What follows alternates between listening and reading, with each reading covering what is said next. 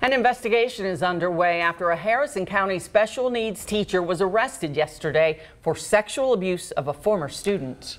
The allegations date back to the summer of 2018, and police say the student was only 13 at the time. LEX 18's Eleanor Buckley has the details.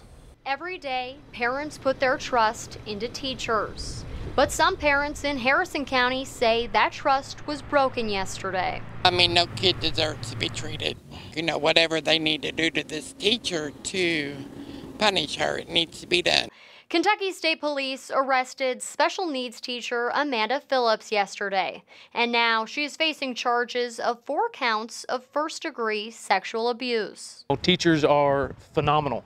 And when you hear something like this, it's the same as when a law enforcement officer does something that they shouldn't do. You know, it's part of the family. It's painful news to hear, especially for Kimberly Moore, a mother of a Harrison County student.